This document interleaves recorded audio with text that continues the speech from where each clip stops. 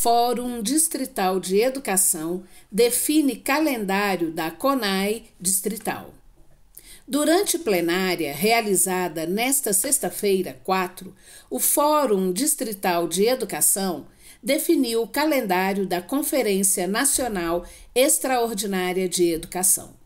O resultado da CONAI 2024 será a coluna vertebral para a elaboração do novo Plano Nacional de Educação 2024-2034. No dia 11 de agosto, o FDE fará a divulgação do regimento da CONAI em sua posse festiva no Feitiço das Artes, 306 Norte a partir das 17 horas. O evento contará com a participação de grupos musicais, Som de Classe e Deusa do Forró, lançamento de livros e participação de representantes do Ministério da Educação, Fórum Nacional Popular de Educação e do Fórum Nacional de Educação.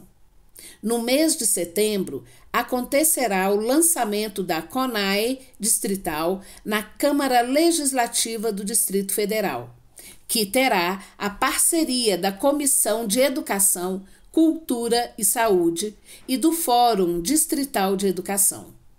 No mesmo evento, será realizado um debate sobre os nove anos do PDE, com participação de entidades que compõem o Fórum. Já nos dias 24 e 26 de outubro serão realizadas conferências nas 14 regionais de ensino. As conferências ocorrerão de manhã e de tarde. E muito em breve disponibilizaremos as inscrições para toda a comunidade escolar e o documento base online. A etapa distrital será realizada no mês de novembro nos dias 9, 10 e 11. A etapa nacional ocorrerá em Brasília, dos dias 28 a 31 de janeiro de 2024. O calendário ainda reserva uma data para a conferência online e para a Conferência de Educação Superior Pública e Privada dos estudantes, pais, mães e responsáveis de estudantes. Os eventos ainda definirão data e horário.